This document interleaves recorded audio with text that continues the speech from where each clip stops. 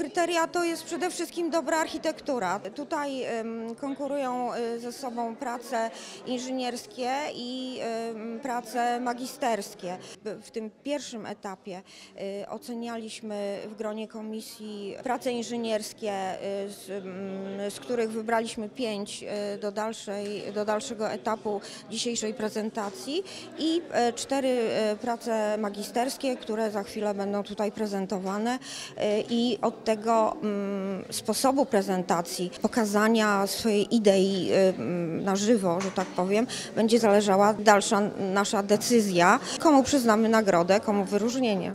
Dzisiejsze prezentacje będą częścią obrad e, jury. Jury będzie się przysłuchiwało tym prezentacjom. Dyplomy reprezentują bardzo szerokie spektrum e, tematów. Myślę, że, że, że, że cała ta grupa jest taką dobrą reprezentacją tego, co, e, m, co robimy i tematów podejmowanych, bo jest i zabudowa mieszkaniowa, i są obiekty użyteczności publicznej e, w różnych kontekstach e, e, krajobrazowych, w naturze, w terenie zurbanizowanym.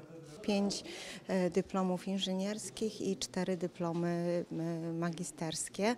Architekt e, musi prezentować swoją koncepcję w przyszłości, już musi mieć argumenty, żeby ją obronić, więc to jest niezwykle ważna umiejętność i staramy się w nią wyposażać naszych studentów. Moja praca dyplomowa powiedziałabym, że polega na eksperymencie.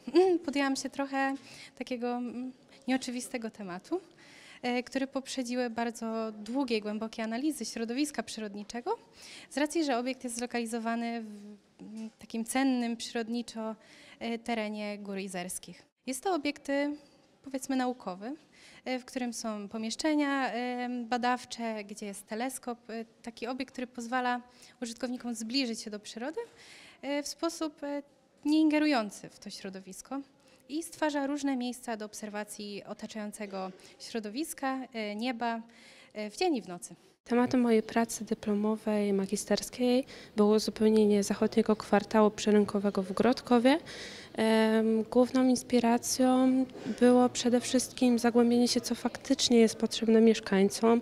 Dokonałam takiej ulicznej ankiety, rozmawiałam z mieszkańcami, e, co tak naprawdę potrzebują. No, w głównej mierze mówili, że tak naprawdę mieszkań, ale chciałam też stworzyć ciekawą przestrzeń, coś nowego, dlatego zdecydowałam się właśnie na obiekt mieszkalny połączony z Centrum Aktywności Międzypokoleniowej. Też e, w swojej pracy dokonałam analizy, że tych mieszkańców starszych jest znacznie więcej niż młodzieży, że oni też chcą mieć przestrzeń, w której mogą się odnaleźć. Zainteresował mnie konkurs architektoniczny, który e, był gdzieś w obiegu e, i przede wszystkim lokalizacja, która e, jest e, tutaj w projekcie, czyli Hyde Park w Londynie.